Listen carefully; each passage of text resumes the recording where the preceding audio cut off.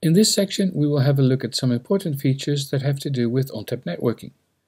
We'll touch upon ports, then we will discuss LIFs, and after that we will focus on the different network types, like the cluster interconnect network, the management network, and the data network. We'll dive into the details in the relevant network module later on. Now a node will receive traffic via so-called ports. These ports are either physical ports or virtual ports. Physical ports are network interface cards that are present in every node of the cluster. Virtual ports can be interface groups or they can be VLAN ports. Interface groups are collections of physical ports that will give more redundancy and better bandwidth. And ONTAP also supports VLAN ports, which can be configured upon physical ports and they can also be configured upon interface groups. It's important to realize that clients and administrators never directly access ports. They always use logical interfaces, or LIFs. LIFs are used by administrators to connect to the cluster to manage the cluster, but LIFs are also used by clients to connect to the cluster to send and retrieve data. Another thing is that a single port can host multiple LIFs. Now in the networking module, we will further discuss physical and virtual ports, as well as setting up logical interfaces.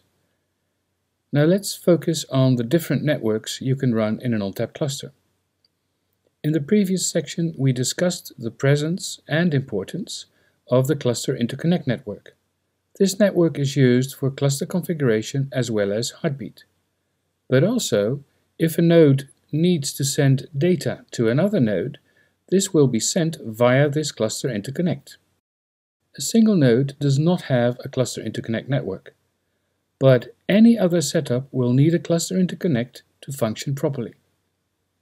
The minimum number of ports that will be used for this network is 2 per node. It's important to realize that the cluster interconnect ports are always physical ports, and they cannot be used for any other traffic than the cluster interconnect traffic. This really is a separate and private network. We also noted that this network is never accessed by clients. So how do clients and administrators access the cluster? This is done via the data network and via the management network. These can be two physically separated networks, or if you want, NetApp supports running both networks on one physical network. This is not best practice though. So let's say we stick to the best practices. Then you would build a data network via which clients store and retrieve data, and a management network that you, as an administrator, use to manage your cluster. To access your cluster as an administrator, you're advised to use the Cluster Management Interface, or the Cluster Management LIF as it's also called. Every cluster has one and exactly one cluster management LIF. This LIF can run on any node in the cluster and will automatically fail over to another node if that particular node or port fails. So in a healthy cluster, the cluster management LIF is always available. Once you access the cluster management IP address via PuTTY or SSH, or via the System Manager, which is a browser user interface, you will have access to your entire cluster. Whatever you do via that interface will reflect on the entire cluster configuration. Now there's a lot more to be said on networking, but we'll deal with that later.